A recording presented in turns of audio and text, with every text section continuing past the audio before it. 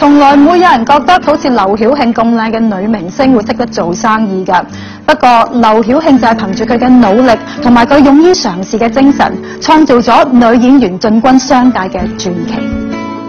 但係其實你本身咧就係一個即係啊好出色嘅演員啦，嗯點解當初會忽然間諗到要去做生意㗎啦？啊，他是这样，其实我做生意主要是因为因为穷困所迫，嗯，因为当时因为我一个月只有五五十块钱的工资，但是呢我很孝顺，因为我的家里有爸爸妈妈还有外婆，啊，还有呢，因为我妹妹呢就我们两姐妹，啊我妹妹到呃法国去读书去了，嗯。啊，也是我在负责嘛，因为中国又是正好是改革开放的大潮，嗯。所以当时我就觉得还是要做一些生意去，结果一下一下就当时在那种情况，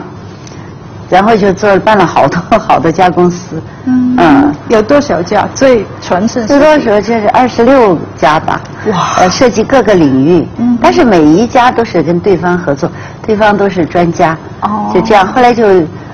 就一不小心就挣了一些钱，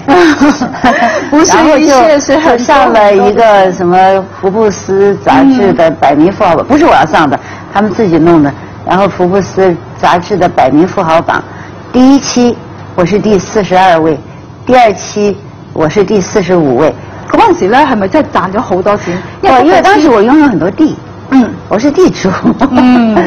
呃，拥有很多地，呃，然后我就招商引资，嗯。这这些都很复杂，就是那个吸引外资进来。即係其實嗱，你誒都曾經試過啦，有一次搭飛機，你嚟望翻落去下邊嘅個個中國嘅土地嗰度，你就覺得自己咧冇冇任何嘢係你做唔成嘅。是，因为当时因为天地很广阔，嗯而且还有呢，确实是因为我自己有很多资源，